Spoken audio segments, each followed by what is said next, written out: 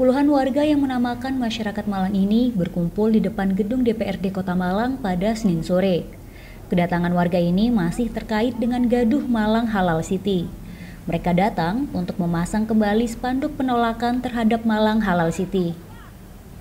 Ada dua spanduk yang dipasang di pagar gedung DPRD Kota Malang. Spanduk tersebut bertuliskan Malang Kota Toleransi milik semua agama dan spanduk kedua bertuliskan Malang Kota Pancasila halal untuk semua agama. Ayu Wulandari, salah satu peserta aksi menjelaskan, pemasangan spanduk ini sudah ketiga kalinya dilakukan. Kedatangan mereka ini untuk menyampaikan kembali aspirasi mereka dan menegaskan bahwa mereka menolak Malang Halal City. Jadi kota Malang ini sebenarnya sudah ada dan mudah sekali makanan halal gampang diperoleh. Kenapa harus dipilah-pilah seperti itu?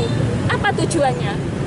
Seperti itu ya karena halal bagi satu uh, satu masyarakat belum tentu halal bagi satu masyarakat yang lain. Tapi tidak perlu dipilah-pilah seperti itu. Kita sudah tahu kok selama ini oke-oke aja kota Malang. Sementara itu, Ketua DPRD Kota Malang, Imade Riandiana Kartika yang turut menemui masa menyampaikan, anggota Dewan menampung semua aspirasi masyarakat Kota Malang. Sedangkan terkait penolakan Malang Halal City, Menurutnya, karena toleransi dan Pancasila sudah menjadi pedoman wajib yang harus dilaksanakan. Malang adalah kota toleransi, Malang adalah kota Pancasila.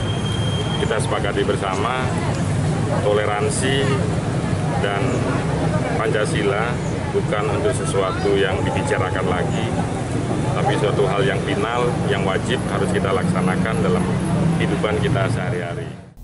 Sebelumnya spanduk penolakan Malang Halal City juga terpasang di depan Balai Kota dan gedung DPRD Kota Malang. Spanduk tersebut viral di media sosial.